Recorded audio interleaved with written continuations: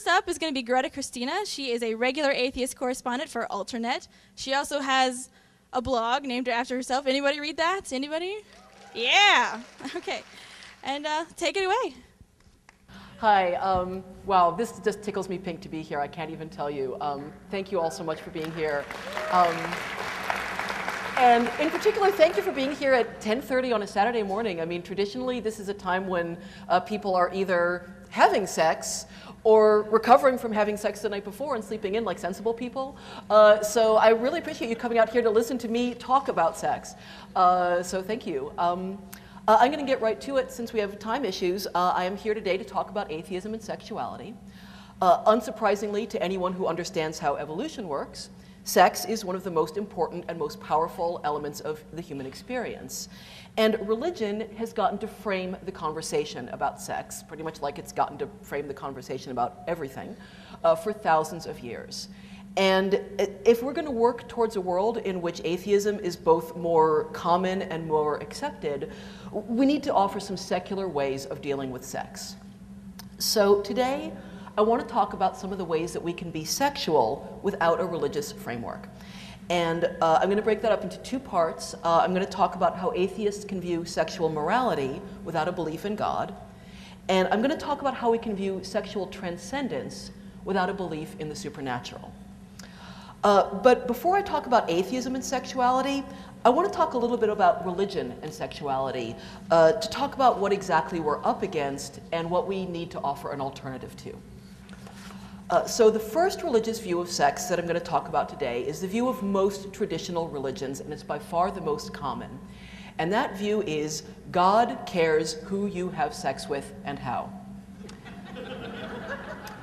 God only wants you to have sex with certain people, typically a person of the opposite sex to whom you're legally married, although not always. Some religions permit same sex marriage and some religions ban sex altogether. Uh, not surprisingly, those religions don't do so well. Um, uh, important point if you're going to start a religion and you want it to last more than a generation, do not make procreation a sin. Um, so God only wants you to have sex with certain people, and God only wants you to have certain kinds of sex with those people.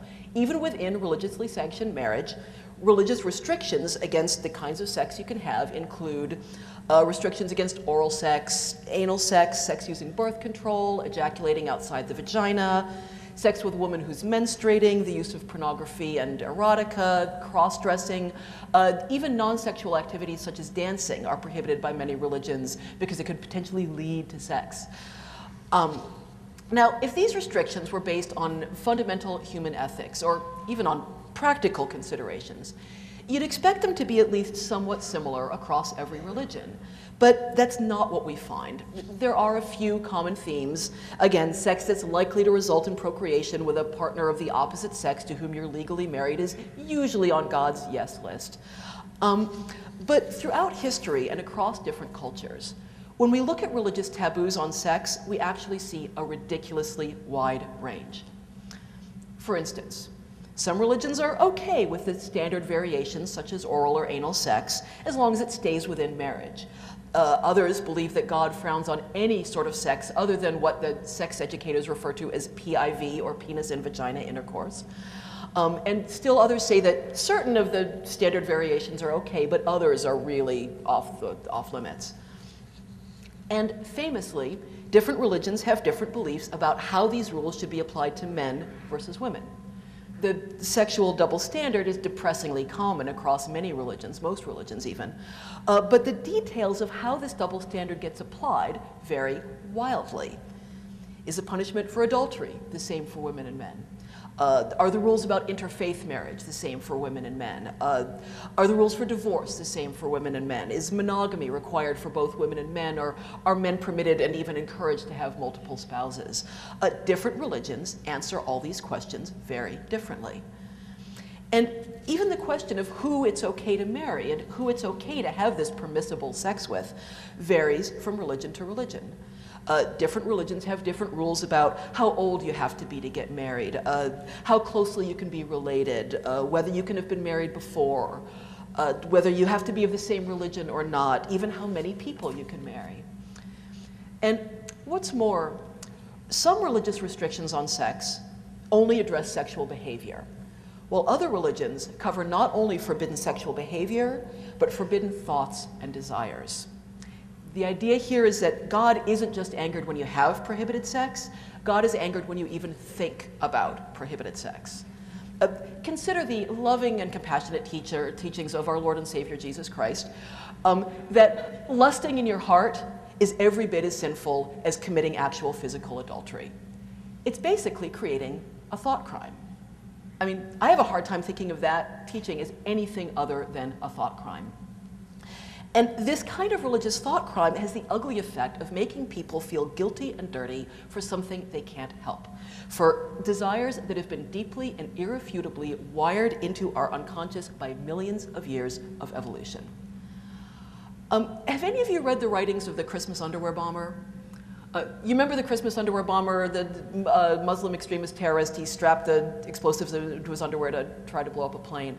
Um, you should read his writings if you, if you can. They're really fascinating. This guy was tortured with religious guilt over sexual feelings that he believed were sinful. Some forbidden sexual acts as well also made him feel very guilty, such as not lowering his gaze in the presence of women, um, but also just simple sexual desires. And we're not talking about sexual desires that were in any way unethical or even that were particularly unusual. As far as this guy, we know this guy was not into spanking, he wasn't into jello, he wasn't into humping women on the subway. I, the guy was not even gay. Um, the mere fact that he found women sexually desirable and was aroused by looking at them this was enough to torment him with religious guilt and the terrible fear that he was disappointing his angry and vengeful God. It, it's like making people feel guilty about getting hungry or needing to sleep. And this is not a necessary part of religious sexual morality. This is not something all religions do, only some of the really special ones. and often, the sexual ethics of a religion aren't just inconsistent with the sexual ethics of other religions, they're internally inconsistent, they're inconsistent with themselves. Um, take the moral lessons conveyed by so many uh, conservative Christian teachings. Sex is dirty and bad, and you should save it for the person you love. Sex is so dangerous that even talking about it can send the desire for it spinning out of control. It's wicked, it's disgusting. You shouldn't even think about it until your wedding night. Which, if you kept your virginity, will be a glorious pinnacle of intimacy and sacred delight. Now, this teaching doesn't just conflict with the teachings of different religions. It, it, also it doesn't even just conflict with the basic realities of human sexuality, including the reality that first times really often aren't that great. Um, it conflicts with itself. So clearly, we are not looking at a straightforward, unambiguous moral message from God. And we're not even looking at a solid set of clearly thought out moral positions based on sound and consistent, eth consistent ethical principles. What we're looking at is an almost random set of taboos. Taboos that make no more sense than the taboos we have about food or drugs. Uh, many anthropologists, uh, the one that I remember from when I was in school was Mary Douglas, uh, have argued that the point of taboos is to give people the feeling of control over powerful and important areas of our lives, such as food and drugs and sex. And that the human need for taboos is psychologically more important than the specifics of what those taboos are or whether they're rational or practical. And that is exactly what religious restrictions on sexuality look like. They're only peripherally about, or occasionally, about ethical matters such as who's harmed or what's fair, or even about practical matters like ensuring reproduction or maintaining the purity of the genetic line. They're about making people feel like they have control over sex by creating an arbitrary line between good sex and bad sex and convincing themselves that that line was drawn by God. Now, granted, there are some more progressive and moderate versions of these traditional religions, Reform Judaism, progressive Christianity, etc., who believe that God doesn't really much care who you're having sex with and how, uh, as long as what you're doing is loving and consensual and everybody involved is happy. Uh, and these aren't the most common versions of these religions, but they're not the most unheard of either. And for these more progressive believers, on a day to day practical sense, their sexual ethics are a lot more like those of atheists and non believers. They're not based on what makes God happy or unhappy, they're based on what makes people happy or unhappy.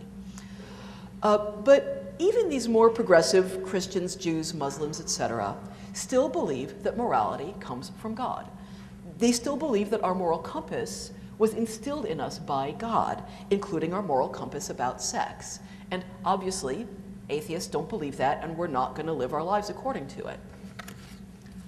So, what is the atheist alternative to all of this? If we don't believe that God is peeking into our bedroom and taking notes, if we don't even think there is a God, much less one who cares who and how we're boffing, then what do we base our sexual morality on? Without a belief in God, are we really just looking at a sybaritic sexual free for all, unrestrained by any ethical considerations? Uh, well, I, this answer may be a little disappointing to some of you, but I think the answer is pretty clearly no. Um, without belief in God, of course, we still have sexual ethics. But without belief in God, we're free to base our sexual ethics on ethics. We don't have to base our sexual ethics on what somebody else wrote down thousands of years ago about what God supposedly told them about how he does and doesn't want us to do the nasty. Human beings seem to have some core ethical values hardwired into our brains from millions of years of evolution as a social species.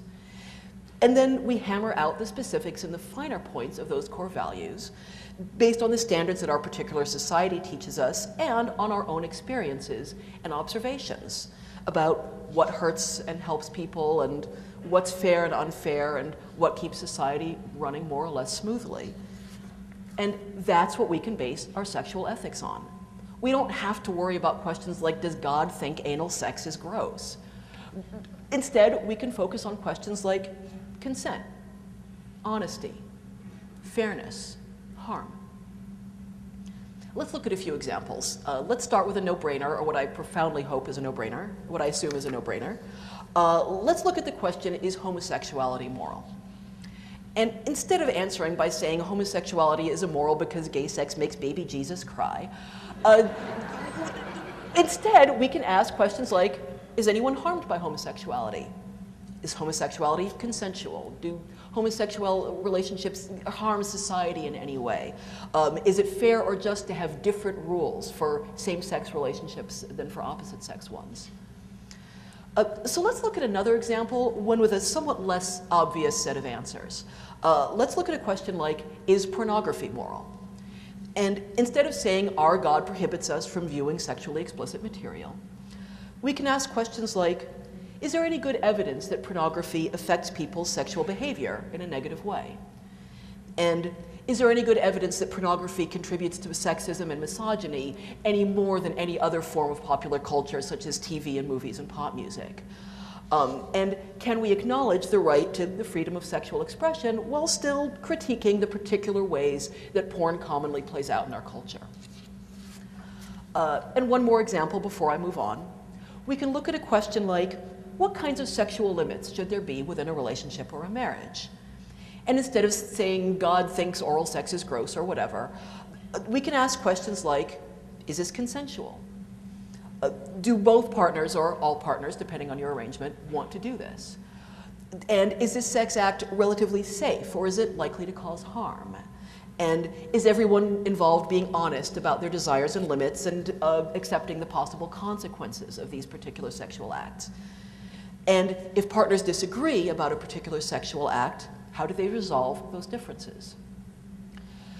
So when we're asking these questions and answering them, I think there's a couple of basic principles that atheists can base our moral decisions on. One is that we have to allow our sexual morality to be nuanced.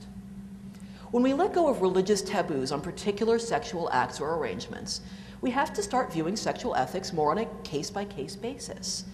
And while some sexual acts can clearly be defined as ethical or unethical by anyone who's not a sociopath, you know, rape or child molestation being the obvious examples, a lot of sexual acts and arrangements fall into a more gray area where different values come into conflict. Uh, so let me give an example of this. Uh, let's look at a monogamous marriage where one spouse has decided they don't want to have sex anymore. at all ever again. Not as a temporary thing, I'm depressed, I just had a baby. They're done. That person is not willing to negotiate, they're not willing to go to couples counseling, and they're not willing to consider non monogamy. As far as they're concerned, the fact that they're done with sex for the rest of their life means their partner is done with sex for the rest of their life, too. Is this morally wrong? And would it be morally wrong for the deprived partner to seek sex outside the relationship?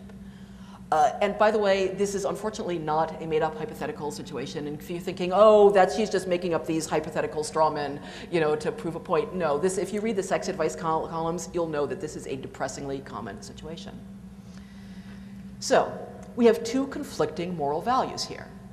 On the one hand, do people have the right to say no to sex? Well, of course they do. Absolutely they do. You know, we own our own bodies.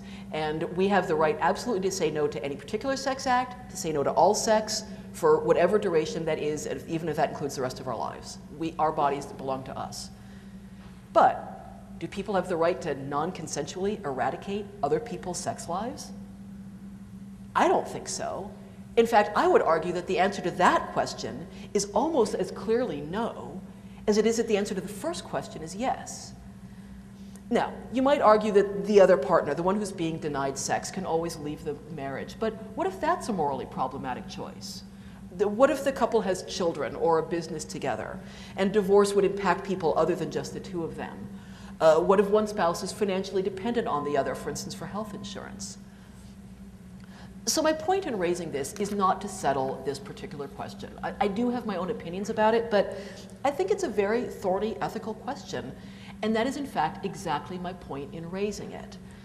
Um, my point is that when we move away from strict religious taboos and rules about specific sexual acts and arrangements, such as adultery is always wrong, or people are always obligated to have sex with their spouses, both of which are rules that exist in particular religions, when we move away from those specific taboos on specific acts and arrangements, we have to accept there's going to be sexual situations that raise complicated ethical questions, questions that aren't always easy to answer and that good and honorable people are going to disagree about. And as atheists, we have to be willing to make difficult moral decisions, and we have to accept the responsibility for our choices without pawning them off on God. So that's one key ingredient of an atheist sexual morality, accepting the reality of moral nuance and acknowledging that sexual choices can be difficult without one clear answer, and accepting responsibility for our own difficult sexual choices. Related to that is the idea that we have to not make our sexual decisions by default. Far too many people take major, serious steps in their sexual lives based on some sort of external timetable without thinking carefully about whether this is really the right time for them to take that step or even whether they want to take that step at all. Far too many people decide when in a relationship to stop seeing other people, when to start having sex, when to move in together, when to get married, when to have kids, etc. Not because it's what's right for them, without even really thinking about what's right for them, but because that's what's next. You know, it's time. You know, we got to get going. That's what's done. That's what people do. And lots of people think of these sexual steps and decisions in terms of when to do them without really seriously thinking about whether to do them at all. We have choices about whether to move in together, whether to stop seeing other people, whether to get married, whether to even get into a serious relationship at all. And making these decisions by default without careful consideration about whether that's right for you, it's not fair to yourself and it's definitely not fair to your partner. Uh, letting your major sexual decisions be made by social consensus, it is a recipe for free-floating resentment. It's not responsible, and taking responsibility for our sexual choices is one of the most important parts of an atheist sexual morality. Another important part of an atheist sexual morality is that we have to be reality-based. Atheists sometimes like to let us, we like to call ourselves the reality-based community. If we're going to live up to that, we have to apply it to sex as well. We don't get to just say same-sex marriage will destroy the family. We have to look at the evidence about same-sex families, how their kids turn out, what effect they have on their communities, etc.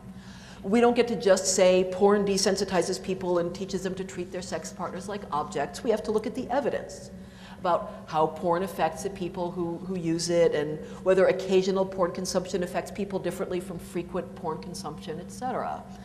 When we're evaluating the ethics of a particular sexual act or arrangement, we have to practice good, evidence based practices. And that includes being willing to change our minds. Uh, I was once in a debate with an atheist about uh, polyamory. This is this online debate. Uh, polyamory, by the way, for those of you who aren't familiar with the term, it means a consensual, mutually agreed upon situation where people have sexual and or romantic relationships with more than one person at a time.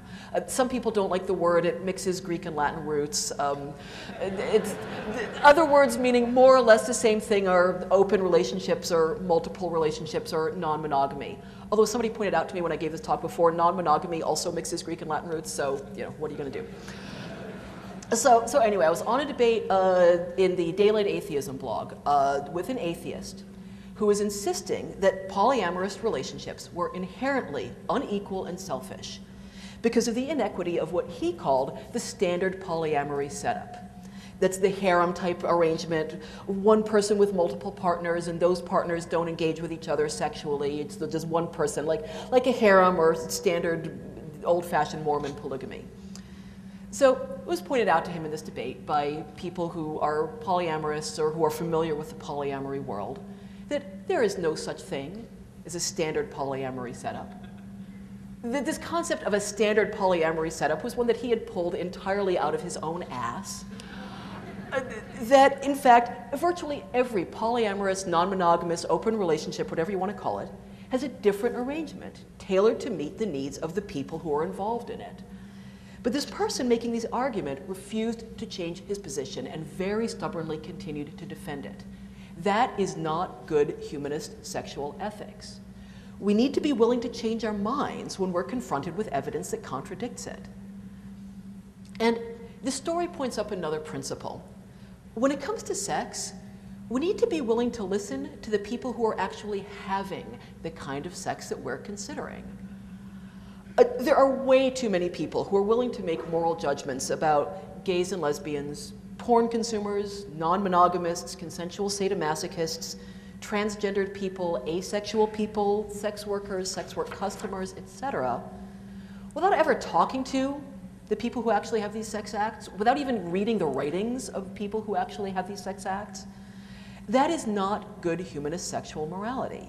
We need to not prioritize our own prejudices and preconceptions about a particular sex act or arrangement at the cost of ignoring the people who are actually engaging in it.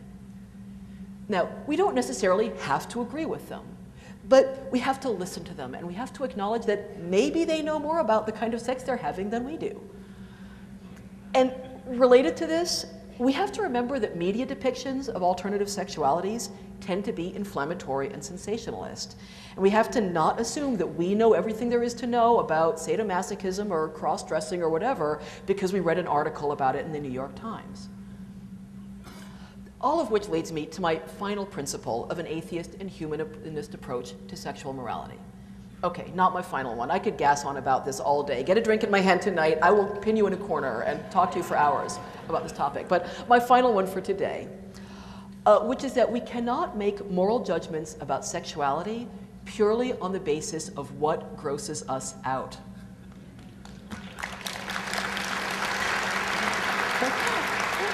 Now, thank you.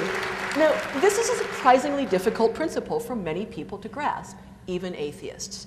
The idea that personal revulsion is a good barometer of moral revulsion is very common. It's very common for people to think, I personally am upset by the idea of homosexuality or polyamory or sadomasochism or whatever, and therefore these things are immoral and nobody should do them. Look at the arguments, for instance, that are most commonly made against homosexuality. God forbids it is absolutely at the top of the list, but a close second is anal sex is disgusting. And as a moral foundation, these two arguments make about as much sense, which is to say, none. It's a ridiculous argument against homosexuality anyway, since lots of gay people don't practice anal sex and a whole lot of straight people do. Uh, but, uh, but I digress. Um, here's a useful way of looking at this question. I found when I'm pondering some question of sexual ethics, it's often useful to make a non sexual analogy. Uh, our feelings about sex tend to run very strong and not always be rational uh, for reasons of cultural training and also probably for some deeply hardwired evolutionary reasons as well. So when we're pondering some question of sexual ethics, it often helps to take it out of a sexual context so our mammalian hindbrain isn't doing the thinking for us. And when it comes to this question of whether personal revulsion should or should not translate into moral revulsion, I like to do what I call the broccoli test. I personally am revolted by broccoli. I like really seriously and profoundly nauseated. The thought of eating it makes me retch. I can barely stand to be in the room when it's being cooked. But I don't think that people who do like broccoli are immoral.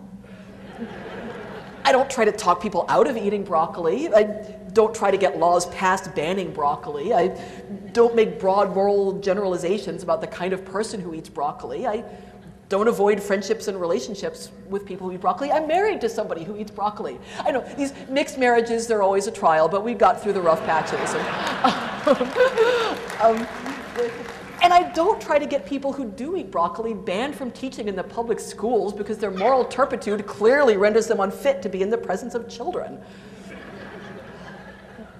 So, in the same way, there are kinds of sex that I find completely unappealing, even actively unpleasant. Uh, an example adult diaper play. This is a type of sexual fetish where adults like to dress up in baby clothes and wear diapers and like that. Totally turned off by it, not interested in even trying it. But so what? Who cares what I think about it? Nobody's making me do it. And if the people who are doing it are, are, as long as they're consensual, as long as they're not being harmed, as long as they're happy and it brings them joy, then what possible business is it of mine? I don't want to do it myself, but I completely support and encourage people who do. Um, thank you. Um, it, it's very common for people to do dime store psychology about other people's sex lives. Uh, sex workers have low self-esteem. Sexual masochists have guilt complexes. Homosexuals had domineering mothers and absent fathers. Uh, it's really not very useful. The reality is that we just don't understand sexuality that well.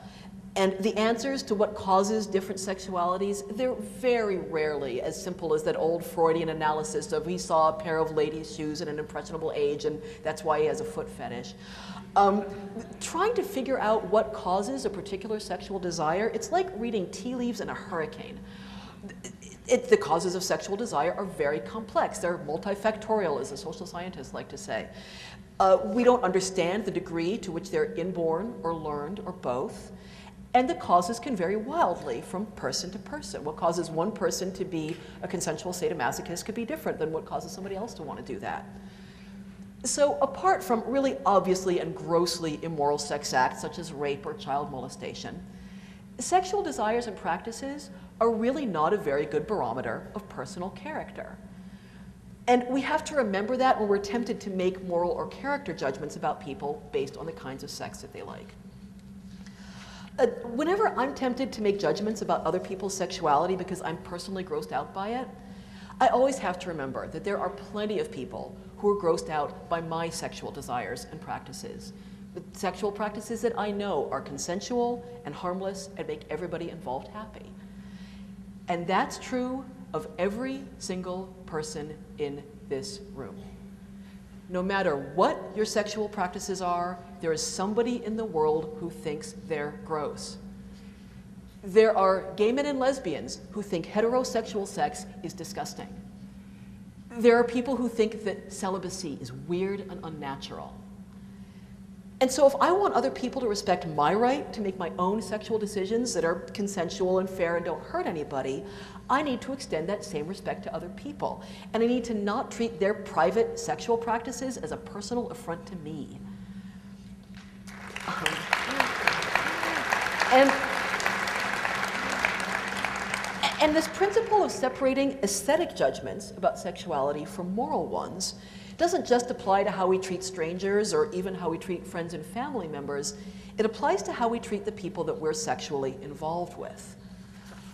If we don't like porn and our partner does, We don't get to just say, porn upsets me, therefore you're a bad person for enjoying it.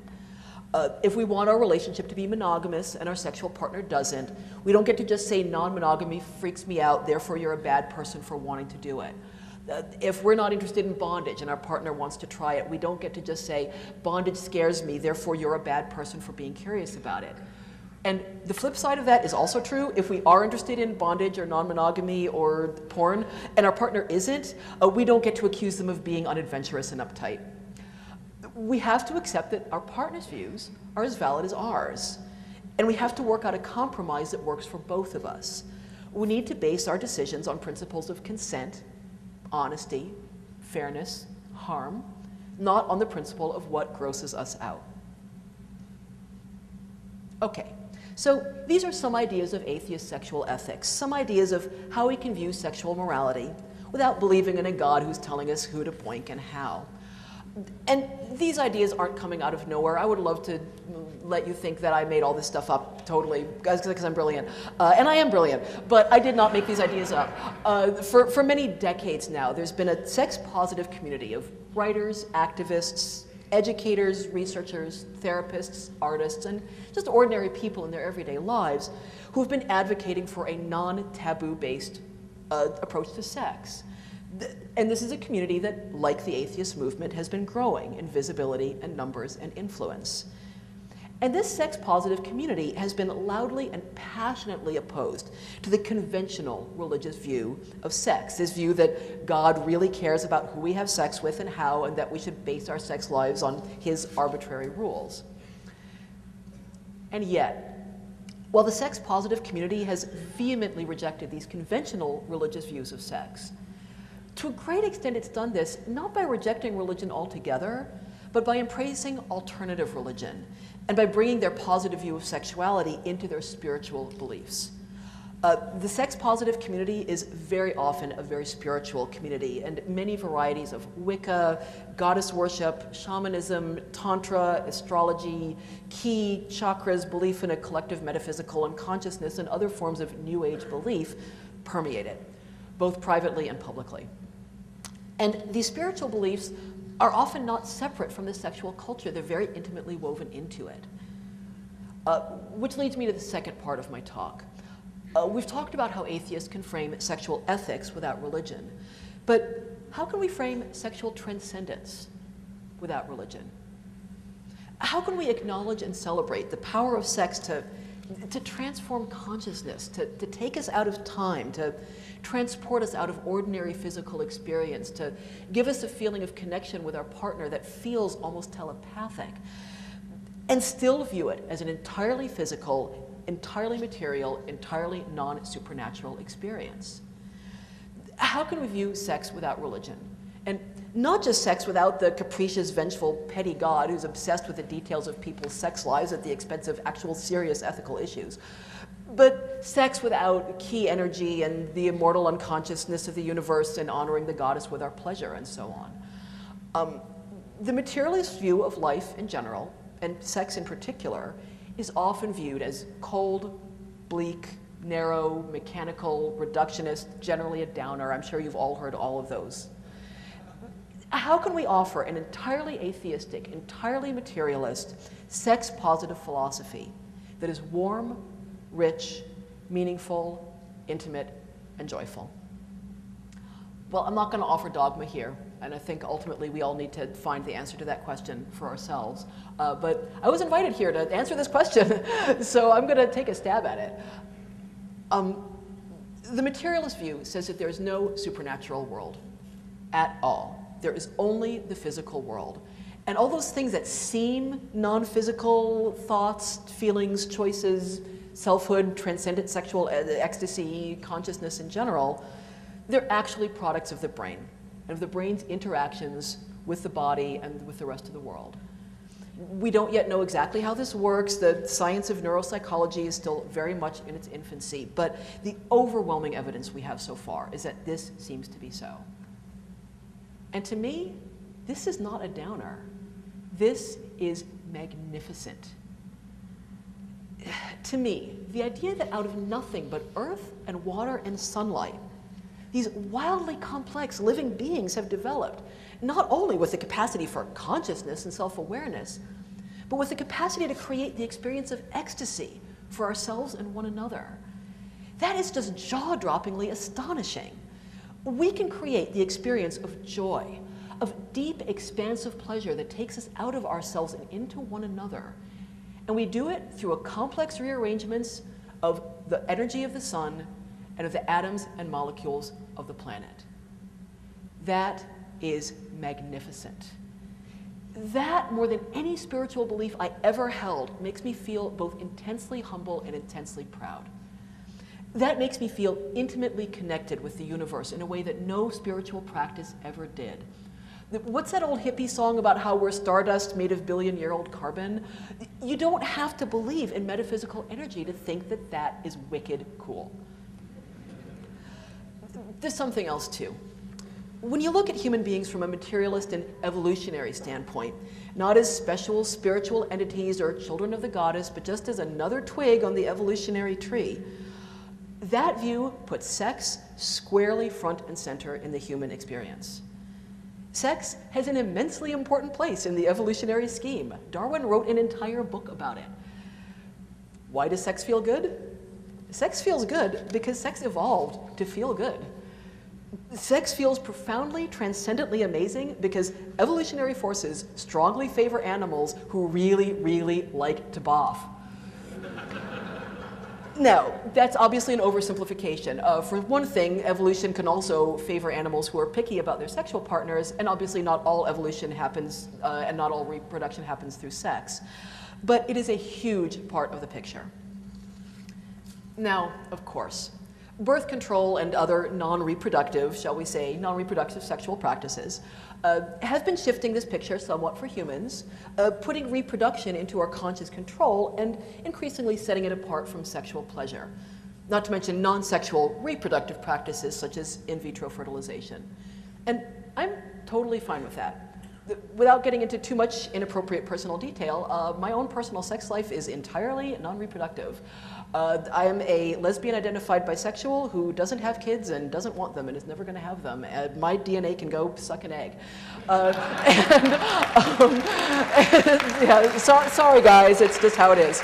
Um, and I am entirely in favor of sex shifting away from its original evolutionary function. And in fact, I would point out that many of the most beautiful and valuable parts of human experience happen when we take basic evolutionary wiring and transform it into something far beyond any prosaic matters such as survival and reproduction. And we took our animal need for palatable food and we transformed it into chocolate souffle with salted caramel sauce. we took our ability to make and use tools and we turned it into the Apollo moon landing we, we took our uniquely precise ability to communicate through language and we turned it into King Lear.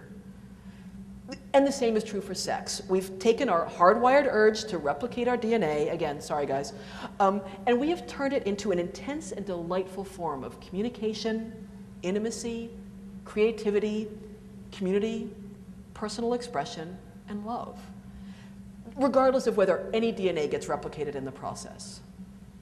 But it's undeniable that these evolutionary forces are where the roots of sexual pleasure lie, and they're roots that go back hundreds of millions of years. So, in other words, according to a materialist viewpoint, the capacity for transcendent sexual joy is hardwired into our brains.